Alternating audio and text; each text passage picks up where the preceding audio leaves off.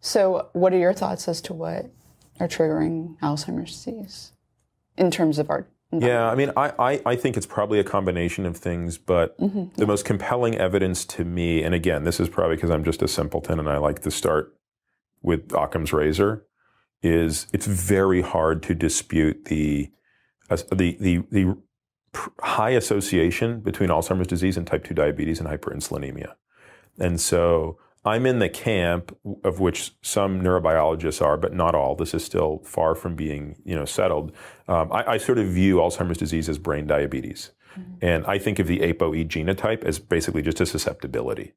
So I think anybody can get Alzheimer's disease with any genotype if there is enough insulin resistance, if there's basically enough difficulty in getting glucose through pyruvate dehydrogenase and into the Krebs cycle. So I think it's a neuronal energy problem more than, and I think all of the other things we see are results of that. But I think in terms of what the um, what the driver is, I think it's a neuronal energy problem. And I think that's I think all of the tau plaque, the neuronal, the uh, the, um, the synapse stuff.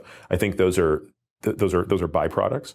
Um, and and I think in animal models, there's some very convincing data that you can, you know, I mean, you've, you've seen this stuff, I'm sure, more than I have, right? Simultaneous insulin, uh, you know, injection of glucose and insulin can transiently overcome deficit. Administration of exogenous BHB can overcome the deficit by bypassing and going straight through alpha hydroxybutyrate into the Krebs cycle. So, where you can reverse the signs and symptoms. Now, um, I'm not particularly in this space, though I find it really interesting.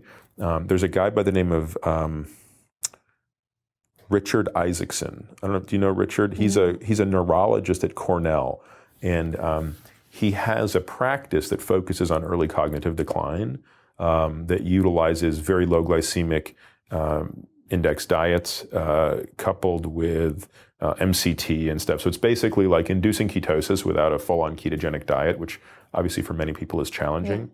Yeah. Um, and he's seeing very promising results. And I think he's in. Uh, he's running a couple of clinical trials as well. And there's a whole sort of, I don't know what the word to describe it is, but like there's a whole network of people out there with, you know, all of their interesting data that are because we don't have controls, we just don't know if this is like a performance bias we're seeing, or if there's a if there's a true impact. But uh, but anyway, that that's sort of my hypothesis, which is I don't actually know what's causing Alzheimer's disease. I don't know how to treat it. I don't know if it's treatable once it's in a late enough stage. Mm-hmm. But I firmly believe that if you can be as insulin sensitive as possible, for you as an individual, you reduce your risk. Now, that doesn't mean that the risk ever goes to zero for any of us, regardless of ApoE genotype. But I know that if I have to choose between being very insulin sensitive and not so insulin sensitive, I'm going to be better off in this camp. And I think that's frankly true for every disease state.